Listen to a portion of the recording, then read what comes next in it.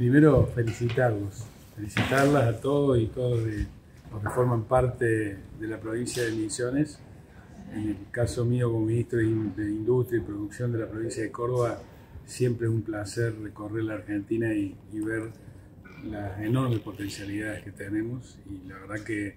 gratamente sorprendido por lo que Silicon lo conocía, porque firmamos el convenio en Villa María con la UTN, con la provincia, y la idea es, eh, Córdoba también es una provincia muy vinculada a la economía del conocimiento,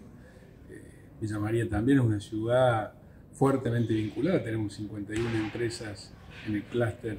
eh, tecnológico de economía del conocimiento, así que bueno, venimos a aprender, venimos a, a ver experiencias y a llevarnos las mejores ideas de misiones. Bueno, y también como intendente electo de Villa María, felicitaciones por un lado, y por otro lado, bueno, la posibilidad también de pensar un Silicon eh, allá, alguna sede, una, una, sede propia este, con impronta cordobesa. Claro, porque ustedes tienen en esto un avance muy significativo y me parece que hay cosas que se pueden tomar, que se pueden copiar, que se pueden duplicar. Eh, la verdad que hay una enorme voluntad del, gobierno de Misiones, eh, del intendente de Misiones, de todos los integrantes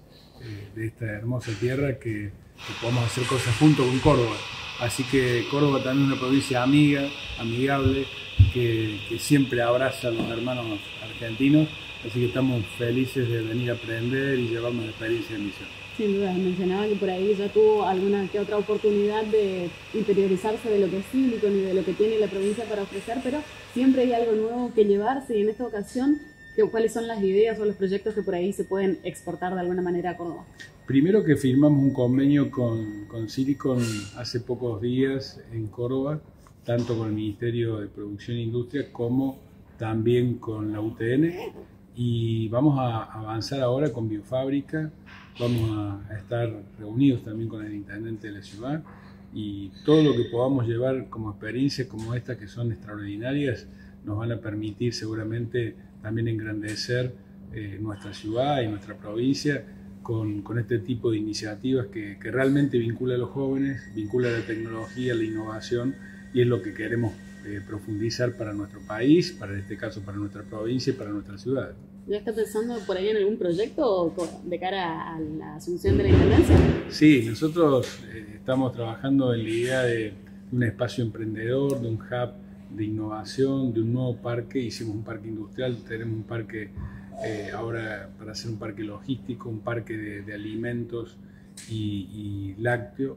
y bueno, todos esos proyectos seguramente los vamos a estar materializando en estos cuatro años de trabajo. Nos interesa mucho que Villa María sea la ciudad del talento creativo y tenemos una universidad, que es la Universidad Nacional de Villa María, y vamos a seguramente vincular también con la UTN y con las provincias las experiencias que ustedes tienen y que seguramente van a aplicar en, nuestra ciudad.